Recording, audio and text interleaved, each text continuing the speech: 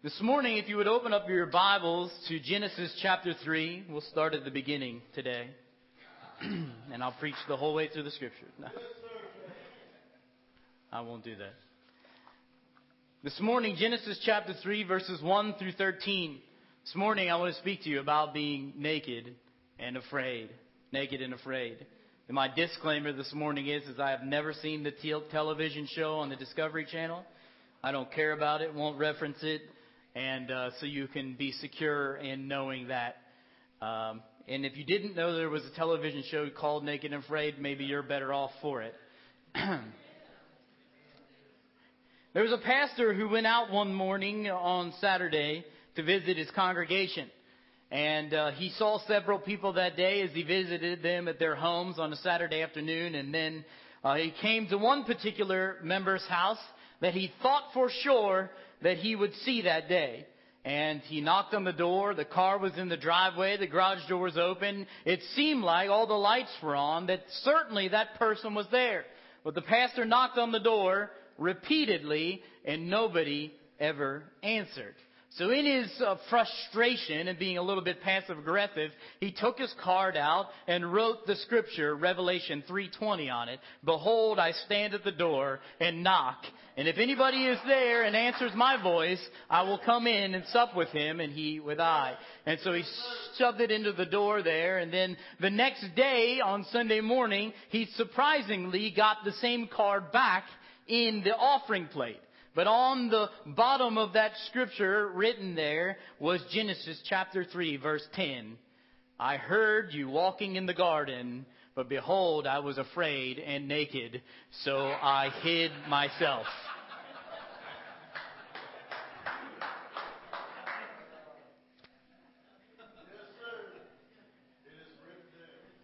Today, I want to look at a scripture that you've probably read a thousand times a scripture and a story that you heard from you were a little kid if you grew up in the church on the flannel graph in Sunday school. A scripture you've probably read in its Genesis, if you will, in the beginning hundreds of times, but I wonder if sometimes that we need to do a close reading of the scriptures. Not just glaze over it, not just read our three chapters a day, but really just go in depth in the scriptures to see what God has to say to us I think in addition to that, we can also look at the fall of man in this story, not as just some theological happening of why we sin and why the world is broken and fallen apart and in need of a Savior, but I think we can look at the origins of fear itself. He says he was naked and afraid. Where is the first happening of fear as it begins in chapter 3? And we can look at it and see how to remedy the fear in our lives itself. So if you would, read with me this lengthy passage of scripture in Genesis chapter 3 verses 1 through 13. It says this, Now the serpent was more crafty than any beast of the field which the Lord God had made. And he said to the woman, Indeed, has God said, You shall not eat of any tree of the garden. The woman said to the serpent, From the fruit of the trees the garden we may eat, but from the fruit of the tree which is in the middle of the garden, God had said, You shall not eat from it or touch it, or you will die. And the serpent said to the woman, You shall surely not die. Really, the better translation there, instead of just an explicit lie, he was crafty, he was shrewd. Uh, the better translation should probably be that are you sure that God said that you would die? He was questioning it, trying to create doubt in her mind. Verse 5, For God knows that in that day you eat from it, your eyes will be opened and you will be like God, knowing good and evil. And when the woman saw that the tree was good for food and that it was a delight to the eyes and that the tree was desirable to make one wise, she took from the fruit and she ate. And she gave also to her husband and he ate. And the eyes of both of them were opened, and they knew that they were naked, and they sewed fig leaves together and made themselves loin coverings. Verse 8 And there they heard the sound of the Lord God walking in the garden in the cool of the day. And the man and his wife hid themselves from the presence of the Lord God among the trees of the garden. And then the Lord called to the man and said to him, Where are you? And he said, I heard the sound of you in the garden, and I was afraid because I was naked, so I hid myself. Verse 11, and he said, Who told you that you were naked? Have you eaten from the tree which I commanded you not to eat? The man said, The woman whom you gave me to be with me, she gave me fruit from the tree, and I ate. And the Lord God said to the woman, What is this you have done? And the woman said, The serpent deceived me, and I ate. You know, in our world today, it seems like nobody is at fault for their actions. You know, we, we live in what people will call this sort of victim mentality, uh, our victimized culture. Uh, this is obviously not a new phenomenon. Literally, at the beginning of creation, we see this victim mentality. It's not me, it's somebody else. It's a, a, a, in the origin or this primal behavior in our own DNA, it seems like, that we have this nature that wants to blame somebody else. And uh, uh, maybe the epitome of this story is in uh, Charles O'Byrne's story. He was the New York uh, governor's top aide and right hand man. And in 2008, he was uh, resigned from office publicly because it was found that he had spent five years of not paying his taxes. His lawyer announced his resignation, saying that he didn't want to inhibit the governor's work, but said that he owed over $300,000 in back taxes. And then he went on to say that the reasoning, or at least part of the reasoning, for his lack of paying his taxes was that because he suffered from a syndrome, like some type of medical or psychological syndrome, that wouldn't allow him to pay his taxes. If you can't blame it on somebody else, let's blame it on some type of disability that you have, right? And, and, and I wonder what the name of that medical syndrome or psychological syndrome is. I, greed? Would, would that be the right name for it?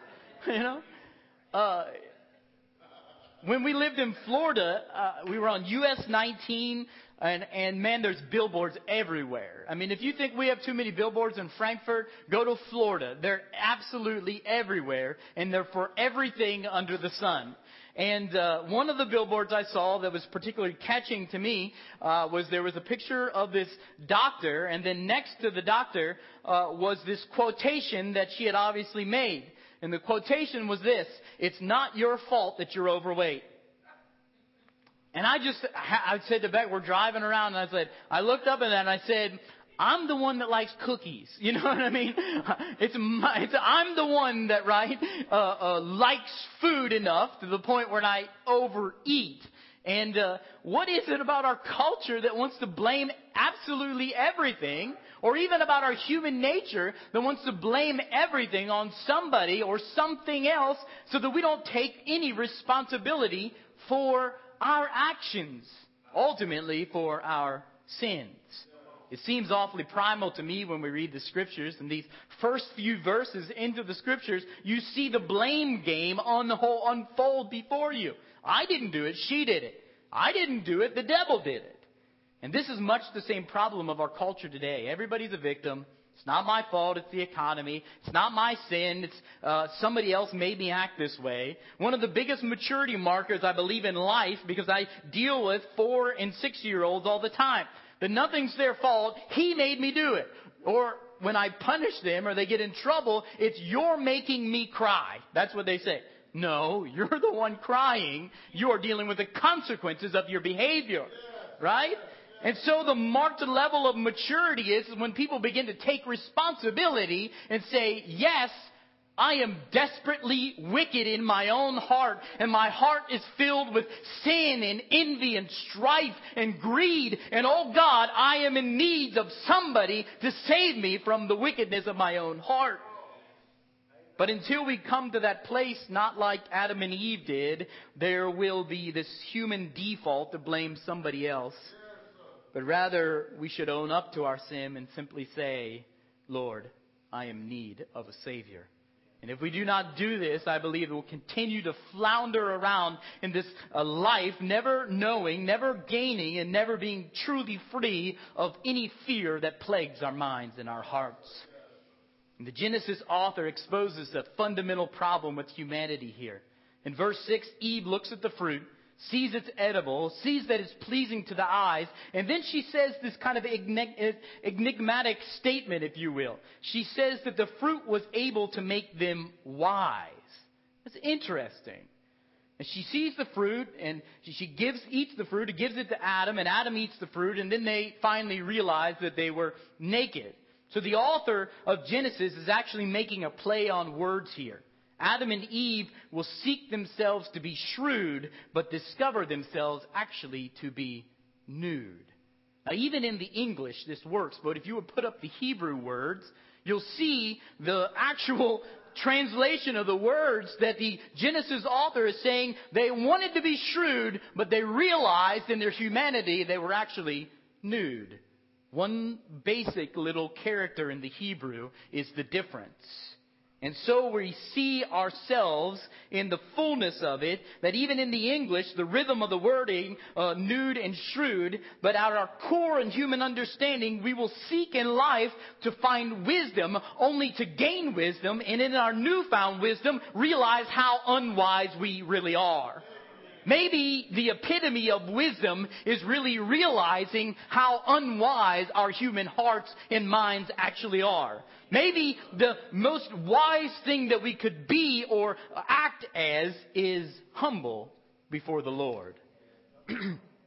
I remember the day uh, I mean, I remember it vividly in my mind that I was accepted into graduate school. I got that email and I just told everybody. I didn't care who they were on the street. I said, I was accepted into graduate school. I had some doubts, obviously, that I would be able to be accepted. Uh, um, and uh, as I begin this process and all the excitement of, yes, I'm starting school, I'm starting a different level of school, then it came to the time when I have to sit before the professors, read the books, and uh, do the papers and tests and everything else, and I realized amidst all of that uh, wisdom-seeking process, how dumb I really was in the first place. And all the excitement is dashed in my hopes of being smart or wise really are. The further further you go in education, the further you really go in Christian discipleship, you realize the depth of your own heart's inability to do something great. And when you receive wisdom, you realize how much wisdom you lacked in the first place. And at the core of our human understanding is that we are so unwise that we have been duped by the beastly uh, serpent of the field. Ultimately, we have all chosen to follow the serpent's selfish deception than to follow the Lord's original commands. I remember a song from high school back in the 1990s. I think very fondly upon the 90s. I don't know about you all, but it was my formative years, so I think fondly upon that time, pre 9 11, pre all the world's turmoil that is. Uh, you could fly on a plane without going through security like you do today. You could uh, drive your 1990s vehicle down the road with your music blaring and nobody would give you a ticket or try to kill you or anything like that. Uh, the world has changed vastly, I think. Um, but the lyrics of this song were uh, obviously in their own way enigmatic. And uh, from the best that I could tell, there was meaning behind them and the lead singer's own life. And then I actually read some blog posts that the singer had made and found that there was truly meaning that I had uh, anticipated behind them. This is along the same lines of Eve's very own thinking and Adam's very own thinking. The song by the Verve Pipe, Brian Vander Ark, the song was called The Freshman. Many of you remember it, but let me quote you the lyrics now. When I was young, I knew everything. And she a punk who rarely ever took advice. Now I'm guilt stricken, sobbing with my head on the floor. Stop a baby's breath and a shoe full of rice. No, I can't be held responsible because she was touching her face. I won't be held responsible. She fell in love in the first place. Think of this in the context of the Genesis story. For the life of me, I cannot remember what made us think that we were wise. And we never compromised. For the life of me, I cannot believe we'd ever die for these sins. We were merely freshmen. Vander Ark is describing this experience from his own life. The guilt that he is feeling, his subsequent blame shifting, is for the abortion of his unborn child, of then his girlfriend. Listen to the words stop a baby's breath and a shoe full of rice. I can't be held responsible because she was touching her face. There will be no breath in the child's lung. There will be no wedding. But it's not my fault. It's she who seduced me in the first place. I'm not going to die for these sins. It's she who fell in love with me in the first place. And this is the same basic logic that Adam had also. I broke your commands, God, but it was because of her. It's the woman's fault. And you put uh, her here with me. So maybe, God, you're to blame also. And in the same pattern, the woman shifts the guilt and puts it on the serpent. The Romans 122 says it may be best, although they claimed to be wise, they became foolish in their actions. And the grim reality of the world does not want to face is, is that your guilt is indicative of the fact that you will die for your sins. And that guilt is what I believe is like C.S. Lewis said, pain is like a megaphone calling out to you in the guilt of your own heart that you would cause, uh, become to repentance. And so God calls out to us in our own guilt, in the conviction of the Spirit, so that we might be saved. However, the beauty is ultimately that Scripture does not leave us in that despair. Because you die unless you allow Jesus to shift all of your guilt, all of your sin, all of your pain from your shoulders and onto His shoulders so that He can ultimately hoist it to the cross and then let it be nailed there forever. Hebrews explains it well. The goats and the bulls, the blood of goats and bulls can never take away the guilt, can never take away the shame of sin. But only the blood of Jesus can take away the shame of sin. And God's command is that if you touch the tree, he said to the woman and to Adam, if you touch the tree, you will die. But the serpent is good at dealing out half truths to Eve. Isn't the world great at dealing out half truths to us? It has a little bit of truth that make you believe it, but then yet wrapped around and shielded and shrouded inside of that half truth, there is a lie. I think that goes along with Romans 1 also. It's good to be shrewd and wise, but it isn't good to use those very same attributes to seduce people into doing wrong that you want to do to them. The snake never demands that she should eat uh, uh, uh, but only suggests her in that direction. The snake tells her that she will be like God, knowing good and evil. But it's this similarity with God that she desires uh, will only work against her because it's the same knowledge of good and evil that will ultimately serve to separate her from God. And so she desires one thing, but here it is again. The half truth gets her another thing buried deep within it. And the weight of all the fear that they feel begins to fall upon their hearts. They are separated from God. They're naked. They're poor. They're helpless. They're thrown out of the garden. They sew fig leaves together to try to remedy the situation, which all proves futile. And they still know that they're naked and they know they've done evil and fear begins to uh, be born into their hearts at their brokenness of relationship with God. Why is it that when you're learning any type of public speaking, anybody takes speech in college or something like that, high school, that some people, it never seems to fail, somebody will come to you and say, this is how you can transcend the fear of public speaking. Picture everybody in the audience naked. And I promise you, I will never do that. Have never done it. It, it seems futile in my mind, okay? But that seems to be the baseline denominator of the uh, uh, of getting over your fear of public speaker. Picture everybody naked, and in this kind of uh, uh desire to uh, kind of even the playing field, I think is what it is. Because when a person gets up to public speak, they'll look at themselves and they say, I'm anxious, I'm fearful, and then all of their kind of desire of, uh, of to be something great is dashed by the fact that they feel insecure in their own ability to speak in public. And so they say, okay, picture everybody naked so you can put them on the same level of shame and guilt and uh, uh, uh, uh somebody out there in that audience, I'm sure, is going to look worse than you look as you put that picture in your mind. You see the foul thinking of human nature? Let's compare ourselves to somebody else. Let me tell you something comparisons never work. Because there is only one person that you ever need to compare yourself to ever in this life, and that's Jesus Christ. And the reality of that comparison is, is that you're always going to fall short. There is no pride when you compare yourself to Jesus. Because he is the perfect and sinless one. But when you compare yourselves to other people, then obviously you can find yourself uh, um, with this massively foul thinking.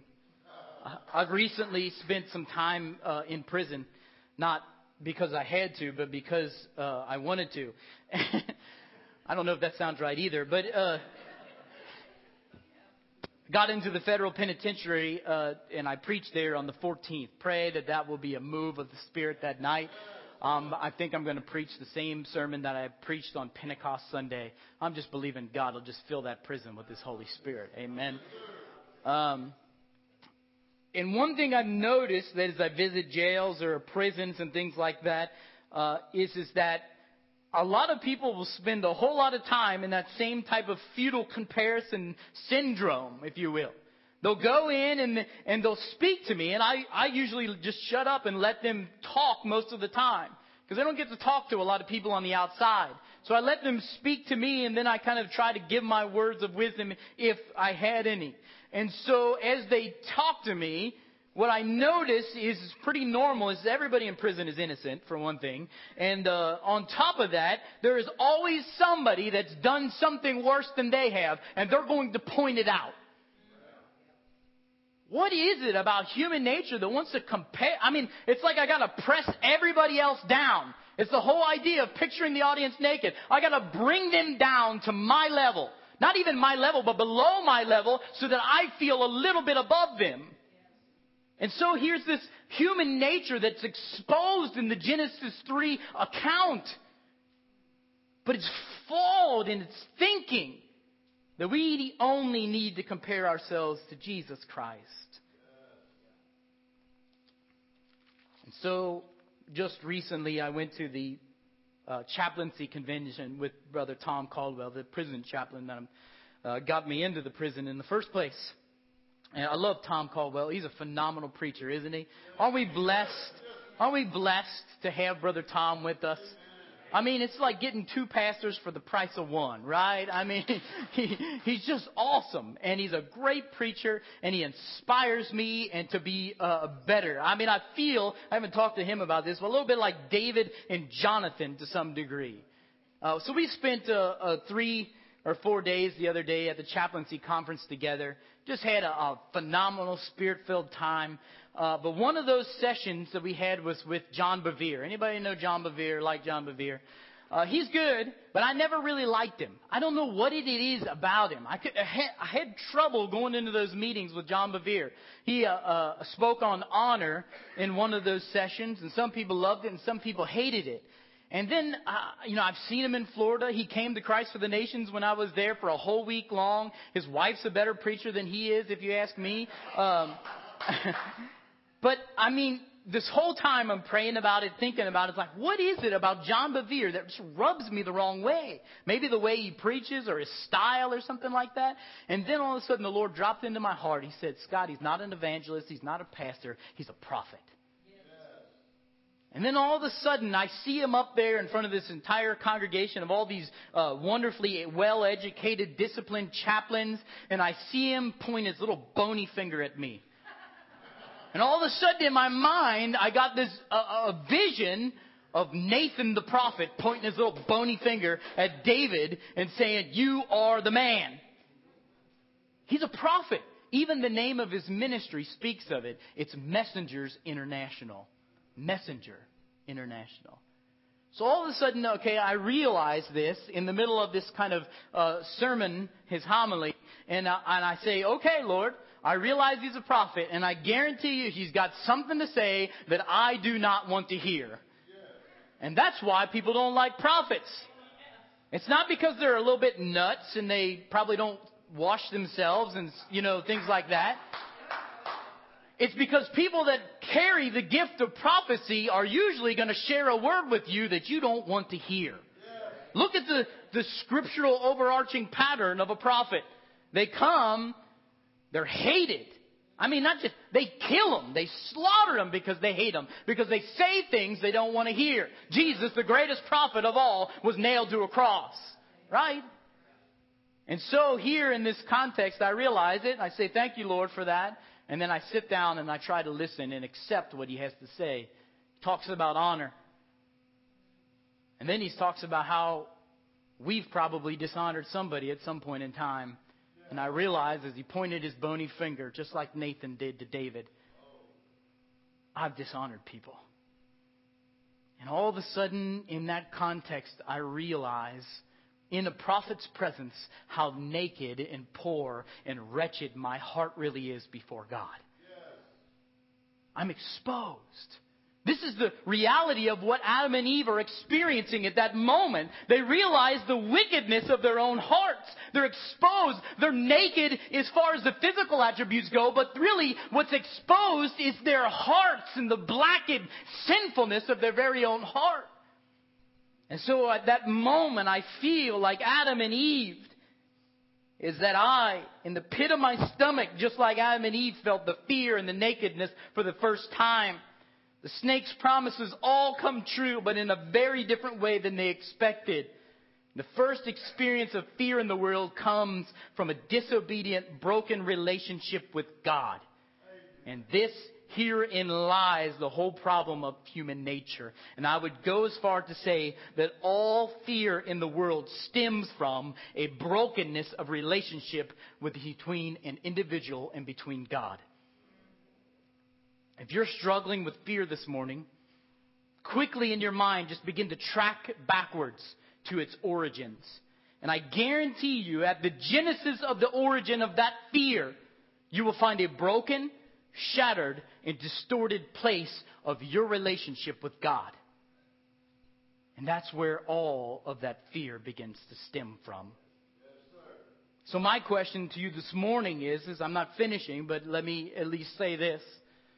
Do you feel a little bit like Sisyphus, the Greek mythology, rolling a stone up a hill for it to only be condemned to roll back down again?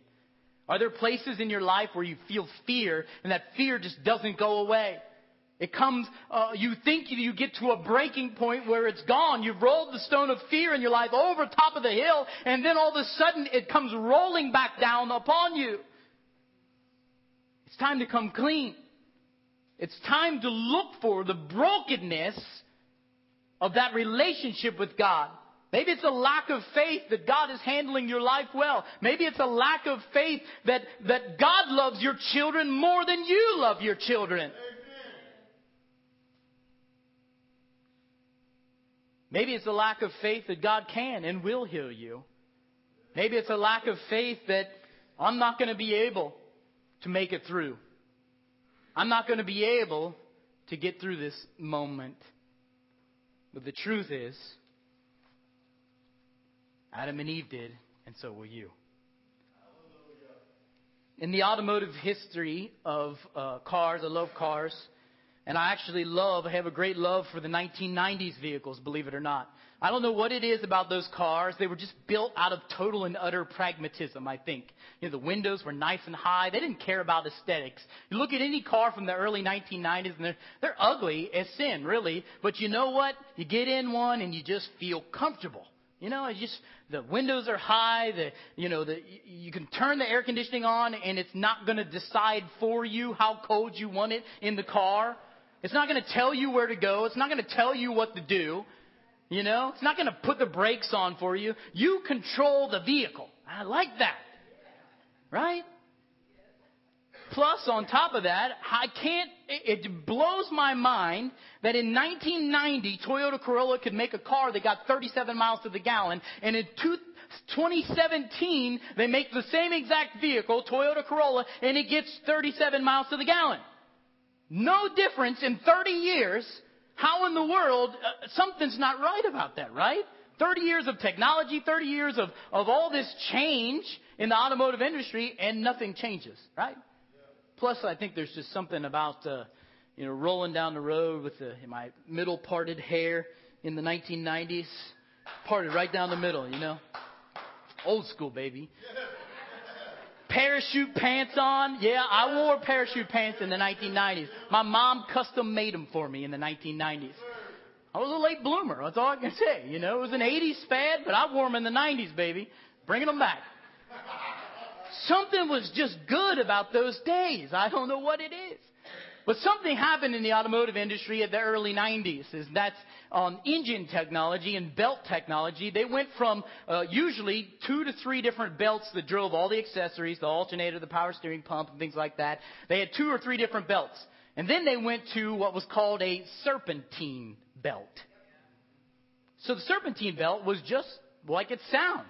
It wrapped itself around every single accessory, every pulley, the water pump, the, the, crankshaft, everything. It wrapped itself all the way around every pulley with one single uh, belt. And it was much more uh, uh, efficient in a lot of ways. And obviously, you had one belt instead of three. That was a good thing.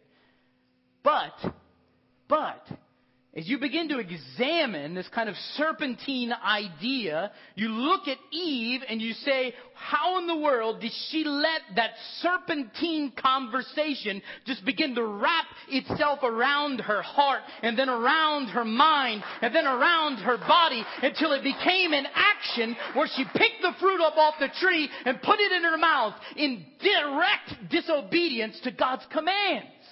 And suddenly, it all changes in that she was letting God drive her with His commands and His word, and suddenly the serpentine conversation wraps itself around her, and the conversation changes. And now the serpent himself is driving Eve's actions.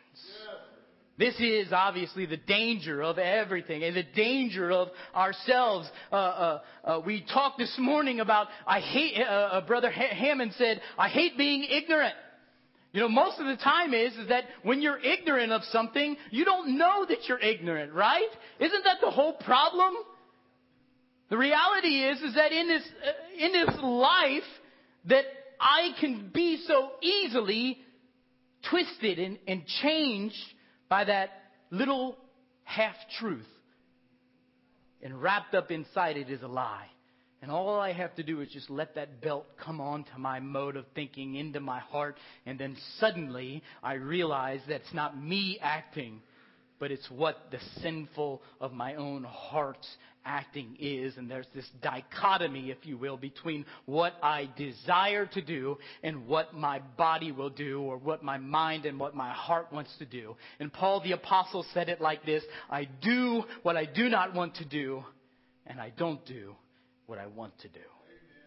It's the same enigma, it's the same issue of all of our Christian lives. But the Hebrew writer, I think, is doing so much more. And we miss all of this if we don't take a time to look at the nuances of the scripture and the text itself and do a close reading of it. And so he sees and he draws the contrast that we can easily miss if we are to read the text not very closely. Their eyes are opened, but they're hiding in the trees. The fruit is good for food, but ultimately it kills them. They sought to be wise, but they find they are naked. They perhaps, the sharpest contrast is, is that Adam chose to listen to his wife rather than to listen to God. And God is one who created and saw that it was good, but Eve takes the fruit and saw that it was good. God took the rib from Adam's side and Eve takes the fruit from the tree. And the penultimate problem with humanity I see in this scripture is, is that we are as humans usurping the divine prerogatives that we have no business doing in the first place. It's God that saw that it was good. It's God that designed it, not me who designed it. And all of the fear of this life has its essence in this very ultimate problem. We try to take control of something that only God has the ability to handle. And they are blatant acts of disobedience. God has provided everything for humanity, but now we see them as making a loincloth for themselves. Adam and Eve's eyes were open, but they did not see what they had hoped for. What they saw was the nakedness of their own hearts before God, sinful, dirty, disobedient, ultimately in need of a Savior. So God comes walking through the garden in the cool of the day. Can you imagine what that will be like in heaven? For God to walk through our presence in the same world, in the same place. And I pray, oh God, that you would walk through this congregation with your presence this morning. So God is walking through the garden in the cool of the day, something he would do most naturally. I long for the day when he will naturally do that again. The Hebrew writer doesn't portray God as this omniscient great creator, but rather he uses this to his advantage to show the ignorant childlikeness of Adam and Eve. Like when we play a game of hide and seek with our children. My kids will hide in the house somewhere and I'll say, where are you, William? Where are you, Whitney? Where are you, Wesley? But yet it's fully evident to me what's actually happening. I mean, they're hiding behind the couch and under a cover, but yet I can see their feet hanging out below them. They have no idea. I can hear them giggling audibly as they're trying to hide from me. Uh, it happened Friday afternoon. Becca sent me a video. I was at the hospital with my dad, and Becca sends me this video, and there's this all of a sudden utter quietness in the house, and she's looking for Whitney. Whitney, where are you? She comes into the bathroom and she's taking the video, following in, and there's Whitney standing up on the stool. She has my hair gel out and it's completely pasted all over her head. Becca says, Are you fixing your hair, Whitney? Yeah. Does it look pretty? Yeah. Just mat, I mean, just gooed up, matted down. Becca knew what was happening. She knew that quietness meant that there was some type of mischievous actioning happening there. And it's not that God is not omnipresent and all knowing and all seeing, but rather it's that the writer of this scripture, the Hebrew writer, is trying to tell us that what is happening is the immaturity and the childlikeness of our very own hearts. And just like two children who are called on the carpet, they're too afraid of the consequences, so they begin the blame game. Adam even implying that it's not just Eve's fault, but maybe it's God's fault too because he put her here with him. Now please, I beg of you, never blame God for your sins. Please, please, bite your tongue if it causes bleeding to the fact that you would not blame God for your sin. It only causes more problems, I believe. And then we see the curses begin to ensue. The judgment is dealt out. Snake crawls on the ground and eats dirt, it says. I think this is obviously to some degree cryptic or at least a deeper meaning and irony of the fact that it was from the ground that dust the man was created and then when man dies it's to dust that he goes again. So just in that fact you see the enmity between the serpent and man himself that it's condemned that the serpent would have to crawl through the remains of man himself. Who's the God of this world? Satan. And somehow he's condemned to live his life at this point in time among humanity that he is at absolute enmity with. Interesting, I think, to say the least. The woman has more pain at childbirth. Man works the cursed ground with thorns and thistles, and they are all banned from the garden. And I think the Genesis account can make us uh, uh, uh, more wise, however. In the Genesis narrative of creation, we find not only the brokenness of creation, but we also find the resolution to creation.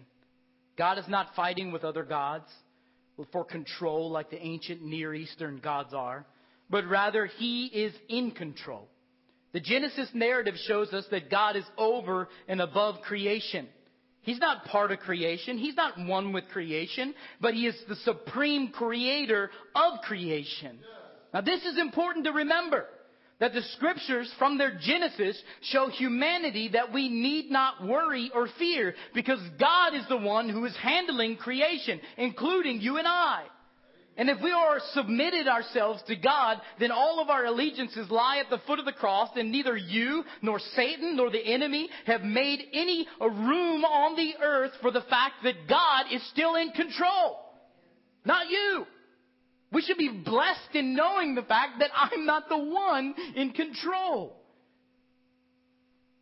But yet we grasp and grope for it, do we not?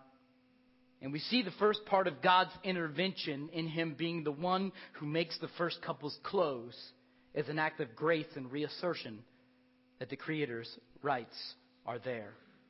The reality of the history of Jesus that we find in the Scriptures is that it was through suffering that Jesus conquered. Do you realize that? This is all uh, encapsulated in our lives. If we're going to be like Jesus, there's a certain level of suffering that if we're going to be like Him, we have to realize. Through suffering, Jesus conquers. And it's through the darkness of suffering that you realize how finite, how desperately in need of the presence of God you are. The presence of fear is this lack of the presence of faith, ultimately. That God is handling your life well. And the reality is that even though Satan, the world, and the enemy may be trying to destroy your life, God has the greater ability to turn it out for good in this life and ultimately in the one to come. Now, most certainly, the fig leaves that you try to cover up your sin with are withering and unraveling. At their best, fig leaves, maybe perhaps at the time the largest leaf in all of the Garden of Eden, Eden were the most uh, appropriate to try to cover up nudity. However, they would have made at their best skimpy coverings, to say the least. Just like any attempt to cover up your sin is futile and leaves little to the imagination. God sees your sin, and so does everybody else. You cannot keep it hidden from God. So God takes leather, it says, and He makes clothes for you. He provides a way for you to no longer feel shame and nakedness and to feel fear. There, however, is only one place that leather comes from. God had to take the lifeblood from an animal at that time. Never done before. No animal has ever died at this point in time. Perfection of all creation, and yet God takes the animal, sacrifices it, removes the skin, prepares it, gives it to the animal, Adam and Eve, and provides a way for their shame and their fear and their nakedness to be covered and taken away. And so it was that 2,000 years ago, on the place called Calvary, God took his very own son and sacrificed them on the cross so that you can be free of shame and wickedness and fear and nakedness that your life has been plagued by for so many years. And it happened through the brokenness of his very own son the Lamb of God. You see, Jesus did not just lay his life down and passively give it to the evils of the world. Although God used, obviously, the evil of the world that his son might be crucified. But it was for the purpose of his death that he made it possible for us to confront the evil of death itself. There was defeat in Jesus' death, but the real defeat was not Jesus dying on the cross. It was Jesus defeating death itself. It was the day death died, it's the same day Jesus died. And you can be sure that you can confront the evil of this world and all of the unknowns of life and the fear mongering of the enemy because you were armed with the knowledge that Jesus has been there through the darkest of all human evil experience that you will ever encounter. And we too can conquer through the darkest places of life because we have the same spirit that raised Jesus from the dead in us, living in us.